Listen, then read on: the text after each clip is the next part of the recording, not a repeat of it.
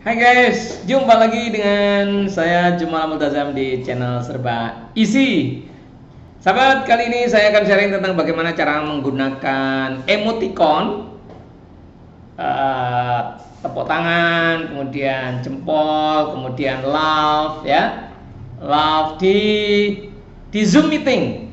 Jadi kalau kita ingin memberikan apresiasi kepada pembicara, tidak perlu oh, hebat, nah, nggak perlu bilang begitu, nanti mengganggu suaranya tapi cukup memberikan uh, tanda uh, emoticon ya. Tanda semacam ini ya. Ini adalah Pak Sabar sedang raisen ya. Uh, oke. Okay. nah bagaimana cara menggunakannya? Nah sekarang misalnya Sabar akan uh, bertanya raisen ya. Caranya adalah sentuh layarnya ya. Layar ini disentuh di gadgetnya Sabar. Saya sebagai Sabar ya eh, megang gadgetnya Sabar dan layarnya saya sentuh sekarang. Nah, begitu. kemudian more, more, kemudian Ryzen. Pencet Ryzen. Ya. Nah, ini di layarnya pembicara nanti akan kelihatan. Saya perlihatkan layarnya pembicara ya. Nah, ini adalah layarnya pembicara. Layarnya pembicara sahabat-sahabat. Ini sabar Ryzen sekarang. Nah, kalau sabar uh, mencet lagi Nah, ini kalau sabar itu kemudian menurunkan tangannya lower hand, tekan layar, kemudian more, more di bawah ini more, ya, more. Kemudian lower hand, lower hand berarti dia menurunkan tangannya. Iya, maka di layarnya Nah, ini layarnya host pun ya, tangannya sudah hilang. Begitu ya.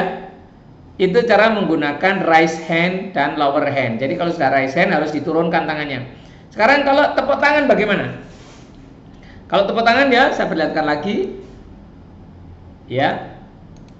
Nah, ini maka di layarnya uh, sabar sentuh kemudian more nah lalu tepuk tangan yang ini aja. Tepuk tangan tepuk tangan ya.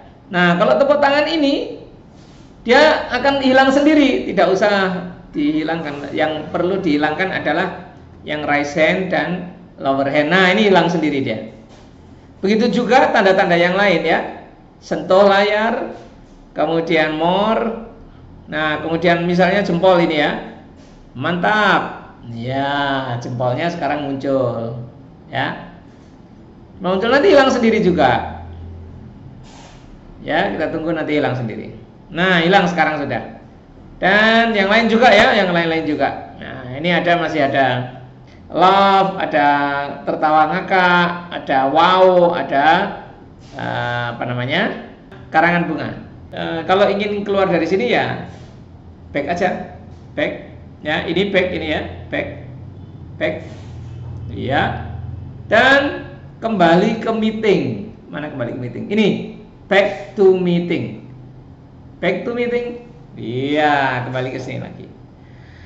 Kita ya cara menggunakan emoticon untuk memberikan apresiasi atau emosi uh, merespons uh, pembicara.